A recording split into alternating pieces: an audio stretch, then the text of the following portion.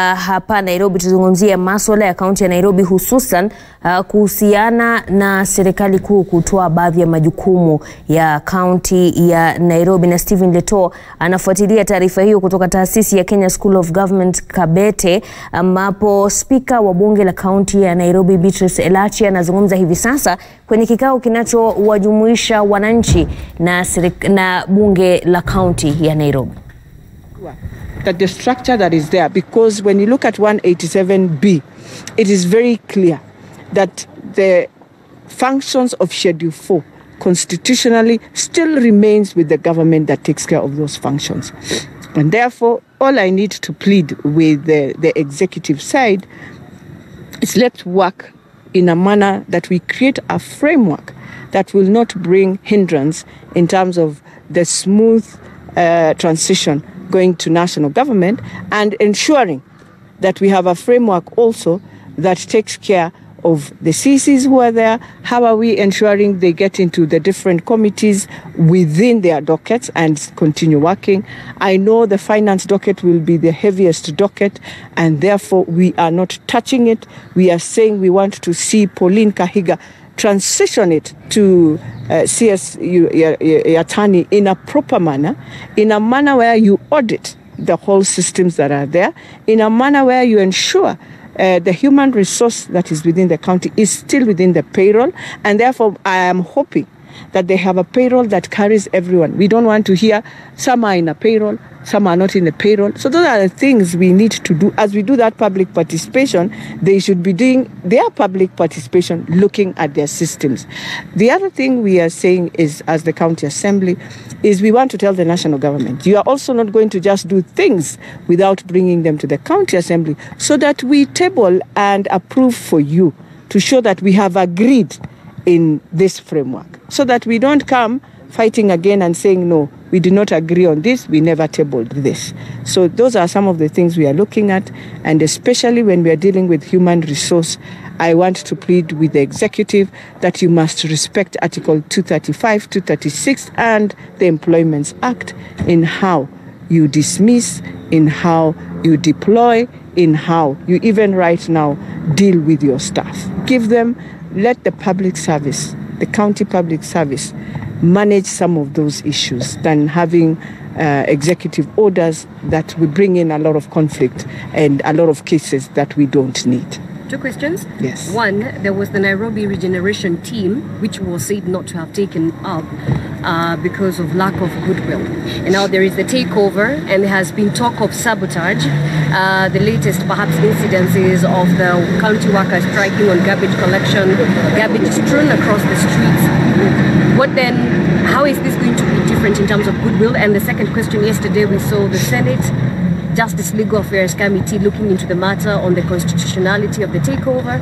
Perhaps how will the Assembly be working with the Senate, which is the oversight of the devolved government? Well, uh, the, both uh, arms are oversight of devolved governments. Where the shoe pains most is in the county assembly. Because one of the things that the Senate did decided now to go look also on national issues and also try and I'll tell them forgot a bit about their serious role. Me being one of the senators, I've always said, having been in the Senate, I've realized there's a big disconnect between the counties and the Senate. And the disconnect is they come in when things have been cooked, finished, and now you find yourself trying to now look on how to engage in the process. Uh, for me, the Senate, uh, if this, for example, the issue of the deputy governor. They invited this, the governor. The governor told them what he said. If the Senate was at that time firm, we would be having today a deputy governor in Nairobi. They left it at that. We ended up in this situation. They have seen all those reports. If the Senate was firm, today they would have already whistleblowed and said, look, Governor, there are these issues and you must deal with them before you're taken to court. They left it until ESCC came in, picked the governor. And what am I saying? You left again the county assembly. It has worked so hard in pushing the national government on the regenerational process, which the county executive had already signed for two years. And therefore, you are already in breach of what you signed. And you are the one who has gone for help. So if you have decided to breach whatever you felt was a better framework, now the national go- government felt we are not going to go into another sabotage. Let's use now the framework of the constitution, where now you use Article 187 instead of now dissolving the whole county. And so, therefore, what the Senate should be helping us, because they know, you know, we've become a legalistic country where we forget the also the will and the goodwill of the people and the citizens. And it is time also the lawyers have to look and say, there are issues you can push for legal, but there are issues you are seeing. Now, when somebody comes and throws a, a whole garbage in the city center, I mean, you don't need law. That one, you need to just need, you need order. At that time, you put law, but with order. That's, you cannot do that. You cannot sabotage again the process of the president, which you have agreed in goodwill. And he has looked and realized Nairobi, globally, I'm ranking badly. I'm going down. The UN is complaining.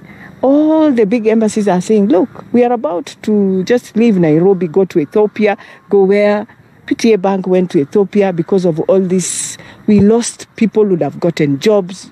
You know, we lost a bad opportunity in that as Nairobi. And many other investors who have left Nairobi. So we want to tell the Senate, as you look your constitutionality, which I'm also looking very seriously, to ensure the county assembly, assembly floats into this process and sustains itself and remains as the oversight body where we shall be taking reports to the Senate.